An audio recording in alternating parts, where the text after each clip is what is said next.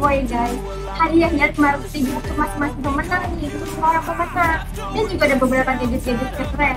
Syaratnya gampang banget cuma like, comment, and subscribe. Dan untuk komentar terbaik nanti pilih untuk menjadi pemenangnya. Apa lagi? Jangan lupa ikutan ya.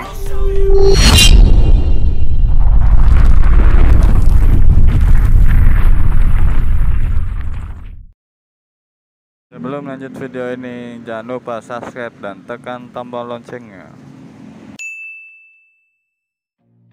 Halo, apa kabar kalian hari ini? Pastinya baik-baik saja kan? Karena saya selalu mendoakan yang terbaik buat kalian. Dan yang suka nonton channel saya, ya, channel saya, saya doakan lebih agar kalian sukses selalu. Tidak lupa untuk selalu saya ingatkan gunakan masker, cuci tangan, jauhi kerumunan, jaga jarak dan pastikan mobilitas Anda berkurang. Nah, di depan saya sudah ada box smartphone dari Oppo Reno 7 4G. Oppo seri Reno 7 4G ini melengkapi seri Reno sebelumnya yang hadir lebih dahulu yakni Reno 7 5G dan Reno 7Z 5G. Smartphone ini memiliki desain yang unik serta elegan. Oke, langsung aja kita unboxing dan cari tahu tentang kelebihan dan kekurangan dari smartphone ini. Langsung aja, check it out!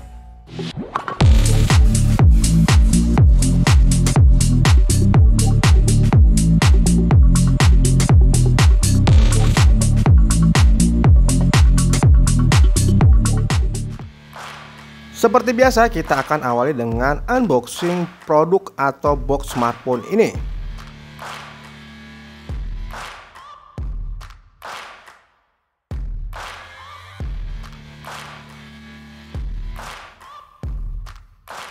Oke, box sudah terbuka dan kita lihat dulu partisi per partisi dari box ini. Di dalam partisi pertama atau partisi yang paling atas terdapat satu buah softcase, buku petunjuk kartu garansi, ada SIM perdana serta ada SIM ejector.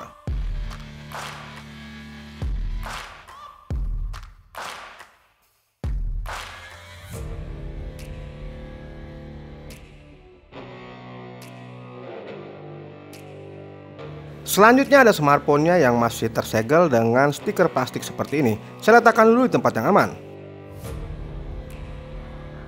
Kemudian di bagian paling bawah terdapat satu buah kepala charger, lalu ada kabel data dan pengisian daya yang berbentuk USB Type-C.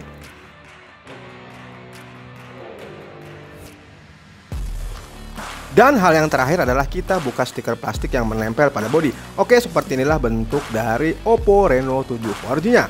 Saya rapikan dulu dan install beberapa aplikasi dan saya akan gunakan sebagai bahan review.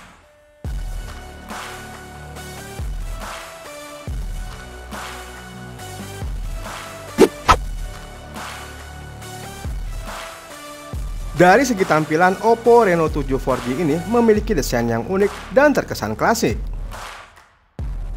Perangkat ini memiliki dimensi panjang kali lebar kali tinggi 159.9 dikali 73.2 dikali 7.5 mm.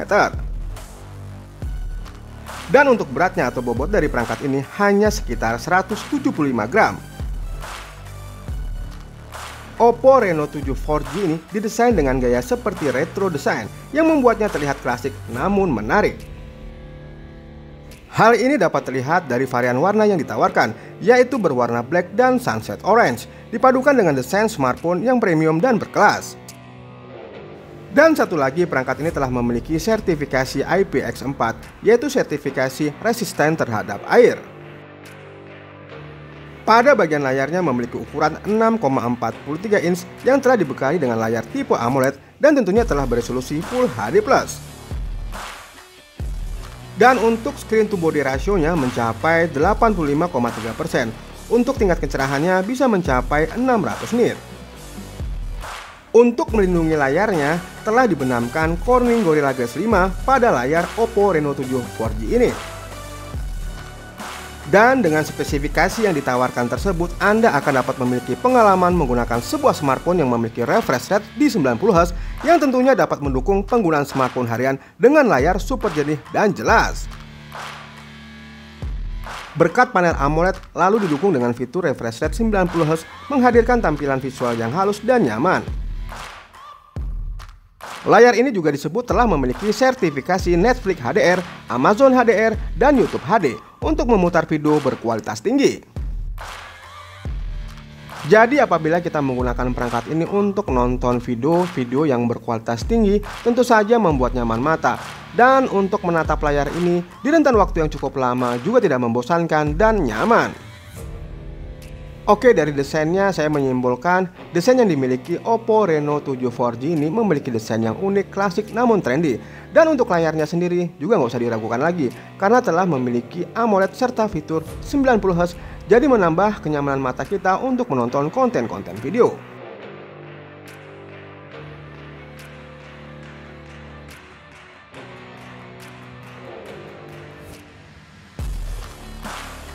Kemudian kita bahas tentang spesifikasi serta performa dari perangkat ini.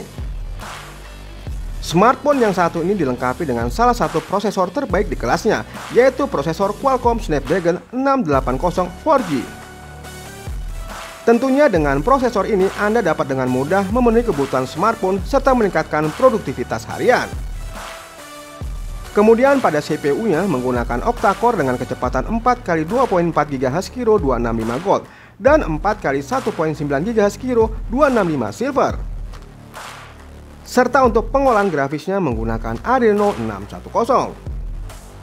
Sebagai pelengkap Oppo Reno 7 4G menggunakan sistem operasi Color OS 12 yang berbasis Android 11.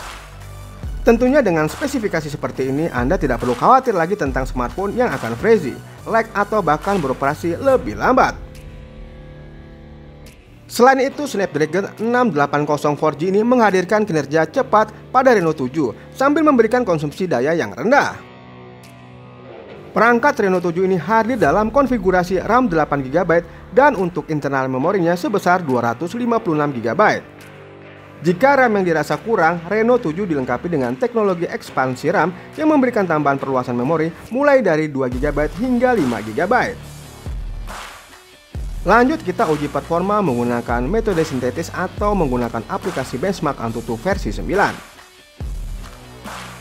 Pada pengujian sintetis ini, Oppo Reno 7 4G berhasil meraih skor di atas 280 ribuan.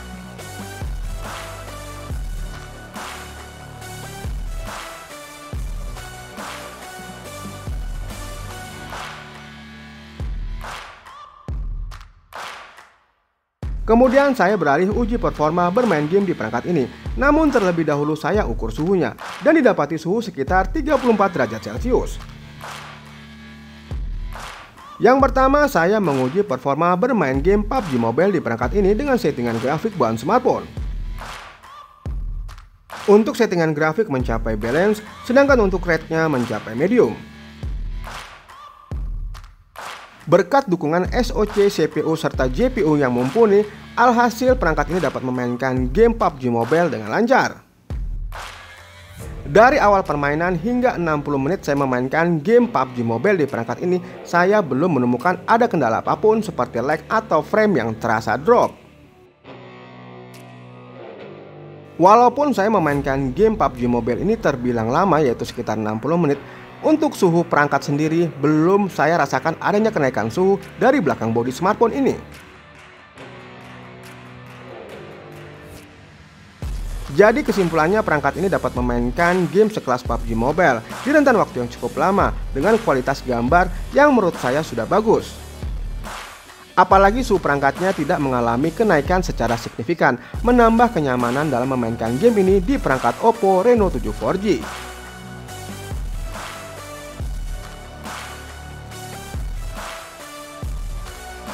Lanjut saya memainkan game yang sekelas seperti PUBG Mobile yaitu Call of Duty.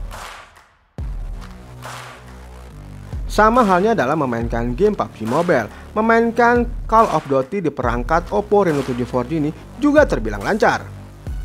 Memainkan game ini memang ada sih saya menemukan lag-lag ringan, tapi tidak dengan frame rate-nya. Frame rate-nya masih terjaga dan tetap lancar. Namun berbeda dengan memainkan game PUBG Mobile, memainkan game Call of Duty ini untuk suhu perangkatnya. Nah, untuk suhu perangkatnya ini mulai berangsur-angsur naik. Di rentan waktu 30 menit saya sudah merasakan hawa hangat dari belakang smartphone ini. Namun kenaikan suhu tadi tidak terlalu ekstrim ya, tidak terlalu panas banget lah, tidak terlalu mengganggu kenyamanan Anda atau pengalaman Anda dalam memainkan game Call of Duty di perangkat ini. Jadi kesimpulan dalam pengujian performa bermain game di perangkat ini bisa dibilang perangkat ini mampu memainkan game sekelas PUBG Mobile atau Call of Duty dengan baik dan lancar.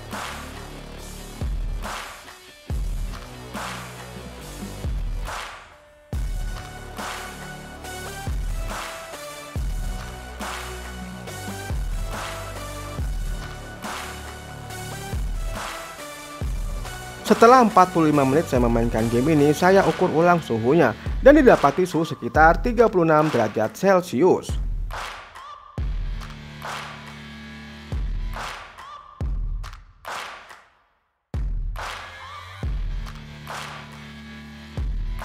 Kemudian pada kameranya menggunakan setup triple kamera dengan sensor utama sebesar 64 megapiksel bukan 1.7 yang berguna sebagai sensor wide. Lalu ada kamera sebesar 2 megapiksel dengan bukan 3.3 yang berguna sebagai mikroskop. Terakhir adalah kamera sebesar 2 megapiksel bukan 2.4 yang berguna sebagai sensor kedalaman. Kamera utama dilengkapi dengan Zero serta Ace. Pada kamera selfie-nya yang berbentuk punch hole memiliki besaran sensor 32 megapiksel dengan bukan 2.4. Untuk perekaman video, kamera utamanya hanya mampu merekam video hingga resolusi 1080 pixel per 30 fps. Sedangkan untuk kamera selfie-nya juga sama, yaitu mampu merekam video hingga resolusi 1080 pixel per 30 fps. Hasil foto dan video dari kamera ini terbilang baik. Foto dengan karakter kuat, pencahayaan yang luar biasa, jernih dan terang. Langsung aja berikut adalah contoh foto dan video yang dihasilkan dari kamera smartphone Oppo Reno 7 4G. Dan ini di pengaturan 720 pixel tanpa ada mode cantik. Namun untuk uh, mode cantik dan tidak cantik bisa terlihat ya. Untuk mode tidak cantik juga wajah saya terlihat halus ya. Terlihat halus tidak ada bekas-bekas jerawat. Dan 720 pixel untuk uh, noise-nya sendiri tambah banyak ya. Uh, walaupun di ruangan ini banyak cahaya tapi untuk kualitas gambarnya masih banyak noise ya yang ditangkap oleh kamera ini. Untuk FPS sendiri atau laju bingkainya tidak ada masalah ya tidak terjadi patah-patah ataupun lag saat saya uh, saat kameranya menangkap objek uh, gambar selfie seperti ini. Oke, ini di pengaturan 1080 pixel per 30 fps ya dengan mode cantik ya. Jadi wajah saya terlihat halus namun untuk gambar atau objek yang ditangkap di ruang tertutup dengan adanya cahaya sedikit seperti ini masih timbul banyak noise ya. Di pengaturan 30 fps ya tidak ada masalah untuk pergerakan seperti mimik mulut saya ini tidak ada patah-patah ya jadi masih good di 30 fps namun untuk kualitas gambarnya masih banyak noise ya. Walaupun cahaya di ruangan ini sebenarnya dibantu dengan cahaya lampu dan cukup terang namun untuk hasil atau kualitas video masih tampak sedikit adanya noise. Oke okay guys, ini pada siang hari ya, saya di dalam ruangan. Saya ingin uh, mengetahui tentang untuk zoomingnya serta kalau kita zooming apakah masih detail ya? Ini adalah contohnya satu jam ya saya akan zooming apakah masih detail? Ini di 10 kali zooming ya. Dan masih kelihatan jelas untuk uh, kedetailan gambar atau objek yang saya tangkap seperti ini. Angka-angkanya masih terlihat jelas ya. Terus ya agak sedikit noise tapi tidak terlalu pecah ya terbilang masih bagus ya untuk zoomingnya walaupun ini di dalam ruangan ini sebenarnya. Oke okay, good. Dan kemudian saya menggunakan uh, mode video di 1080 pixel ya yang tadi 720 pixel sedangkan ini yang 1080 pixel kita coba untuk uh, mode zoomingnya lagi apakah uh, tampak lebih detail dibanding dengan yang 720 oke ini 10, 10 kali zooming ya dan hasilnya good ya. Masih terlihat jelas untuk uh, tangkapan layarnya dari mode video ini. Walaupun uh, banyak noise ya tapi tidak terlalu pecah ya saya lihat. Masih terlihat jelas ini. Oke okay, good. Oke okay, guys di sini saya menggunakan mode mikroskop ya yang 15 kali zoom ya. Jadi kelihatan banget ini. Saya berada di meja ini. Ini adalah taplak meja saya. Nah kelihatan banget ya untuk detail dari taplak mejanya seperti ini ya. Kayak seperti sel-sel gitu ya. Jadi terlihat jelas ini. Untuk bagian-bagian dari telapak taplak meja yang saya gunakan. Tuh ada kotoran-kotoran gini terlihat jelas tuh. Keren ya ada mode mikroskopnya. Namun ini bisa bekerja di tempat atau cahaya yang cukup ya jadi kalau cahaya yang tidak cukup tidak akan terlihat jelas seperti ini. Oke itu terlihat benang-benangnya ya. Keren. Dan ini saya gunakan untuk melihat detail daripada jam yang tadi kita gunakan sebagai objek. Untuk mode mikroskop ya. Jadi 15 kali pembesaran ini untuk mode mikroskop terlihat masih jelas ya. Ya seperti angka-angka seperti ini ya Namun untuk penggunaan seperti ini lihat tuh ada kotoran di dekat jarum jamnya terlihat ya. Penggunaan mode seperti ini uh, untuk uh, pegangan smartphone tidak boleh terlalu banyak goyang atau gerakan-gerakan ya. Sehingga tetap fokus pada objek yang mau kita ambil. Oke okay, good keren. Halo guys, balik lagi nih di Angger Channel. Kali ini aku mau review HP Oppo Reno 7 yang 4G nih Kali ini aku masih di kamera utama dengan resolusi yang terendah yaitu 720 pixel. Dan untuk di pengaturan terendah sekalipun Kalian bisa mengaktifkan flashnya langsung nih guys. Oke langsung aja kita coba ya. Tuh jadi kalau misalnya kalian ngevlog tengah malam nih kalian gak perlu khawatir karena ini udah ada flashnya. Kalian bisa pakai sambil jalan-jalan pokoknya ini cocok banget ya buat kalian yang suka ngevlog karena kameranya itu bagus banget oke kita langsung ke resolusi berikutnya nah kali ini di resolusi tertingginya nih yaitu di 1080 pixel tuh. Jadi seperti penampilannya guys. Gimana kira-kira? Apakah di layar kaca anda tuh menimbulkan noise atau justru ada delay? Sebenarnya langsung kita coba aja kali ya. Gimana? Kira-kira aman ya kalau menurut aku sih aman ya untuk delaynya karena tanpa flash pun ini sudah terang tuh. Apalagi sekarang menggunakan flash. Jadi makin terang gitu ya. Karena cahaya itu berpengaruh untuk mengurangi kita langsung coba kamera selfie-nya aja kali ya halo guys jadi kita lagi ada di kamera selfie-nya nih Betul sekali, kita di pengaturan 720-nya ini. Seperti inilah penampakannya di yang rendah ya. Ini ada fitur plus apa bisa langsung digunakan ya? Kita, kita coba. coba ya.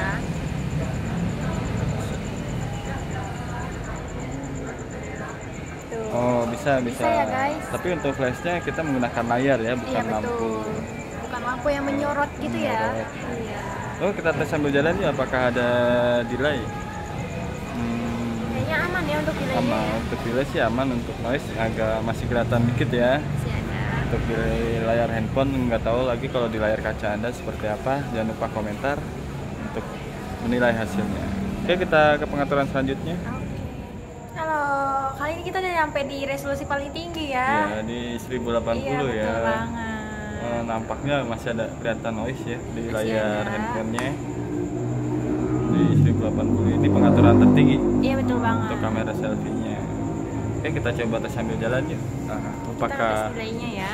delay dan perubahan warna ketika kita berada di luar atau di dalam ruangan apakah berubah secara otomatis? Iya agak redup ya guys. Kalau agak redup noise nya terlihat jelas sekali ya oke coba kita gunakan flash. Seperti ini aman ya cukup membantu ya untuk iya, kamera selfie-nya. Oke. jangan lupa like, comment, subscribe Anggi Waspada channel. Dan lupa tombol loncengnya. Oke guys aku mau kasih tahu ke kalian nih untuk di HP Oppo Reno 7 nya ini juga ada filter buat stiker-stikernya nih. Jadi banyak banget pilihan stikernya nih. Kalian bisa pilih sesuai kemauan kalian sendiri itu lucu kan Oke, okay, kali ini juga aku mau kasih tahu ke kalian kalau di HP Oppo Reno 7 ini ada fitur yang bisa menggunakan stikernya. Jadi pilihan stikernya tuh benar-benar banyak banget. Kalian bisa pilih sesuai kemauan kalian sendiri. Gini guys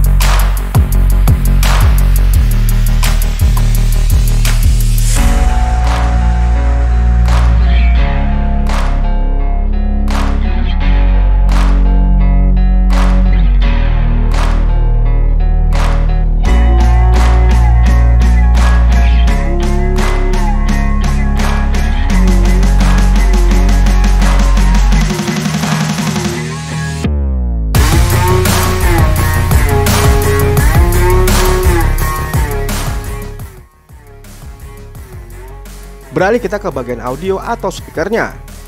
Memiliki layar yang cukup bagus pasti didukung dengan speaker yang berkualitas, menghasilkan suara yang nyaring keras namun tidak cempreng serta bertenaga. Berikut adalah contoh keluaran audionya.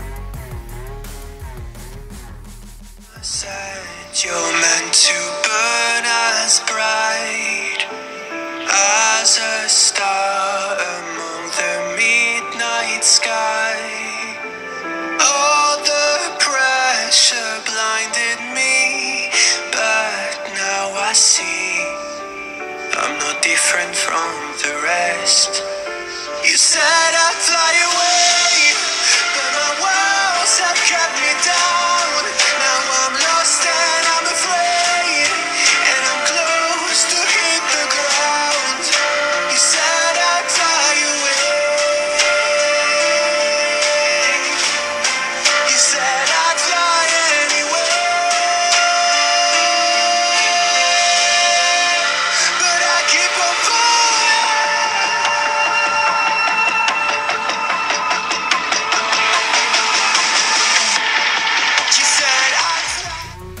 Pada fitur keamanannya, perangkat ini memiliki sensor sidik jari berada di bawah layar. Untuk kualitasnya memiliki kecepatan dalam memindai sidik jari.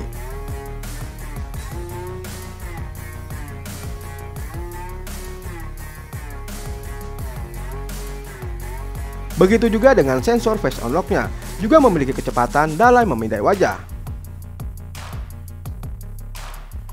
Kemudian perangkat ini juga dilengkapi dengan fitur-fitur lainnya seperti adanya under display optical, accelerometer, gyro proximity, dan kompas.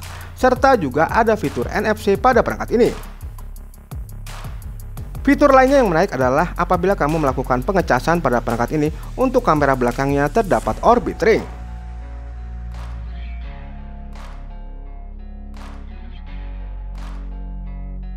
Kemudian yang terakhir adalah kapasitas baterai. Perangkat ini memiliki kapasitas baterai sebesar 4500 mAh didukung dengan pengisian daya cepat sebesar 33 watt.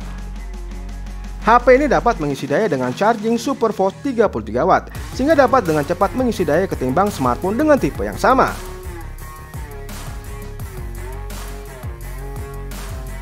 Oke sobat semua, sekian dulu video review singkat dari saya. Terima kasih telah menonton video-video saya. Jangan lupa like, subscribe, share, dan nyalakan tombol notifikasinya. Dan sampai jumpa lagi di video-video saya selanjutnya. Terima kasih.